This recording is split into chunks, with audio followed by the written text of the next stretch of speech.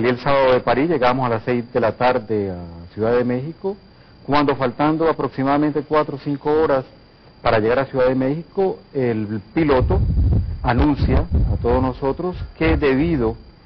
a, a las autoridades estadounidenses el avión no podía ingresar porque entre los pasajeros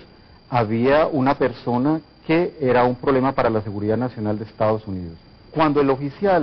de, la inteligencia mexicana me pregunta si yo sé manejar armas, yo le dije, mira, la única arma que yo tengo es escribir, es la única arma que tengo. Y él me dijo, muy casi que textualmente, lo puedo recordar como si fuera, si lo estuviera diciendo él, a veces esa arma es más peligrosa que los fusiles y las bombas. Y yo le dije, sí, yo lo sé. Entonces yo creo que mi único pecado, y mi pecado entre comillas, y lo llevo con mucho honor, como lo hemos llevar los periodistas que trabajamos honestamente y no nos vendemos, es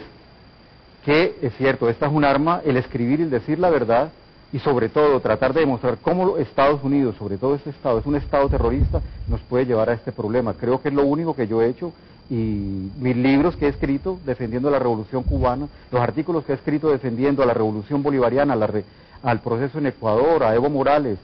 y eh, también defendiendo el proceso social en Colombia y las, mis entrevistas que he hecho quizás con los dirigentes guerrilleros colombianos de las FARC y el ELN, quizás eso es lo que me ha dado este problema. De resto, mi única arma, y la seguiré usando hoy y hoy más que con más ganas, es el escribir.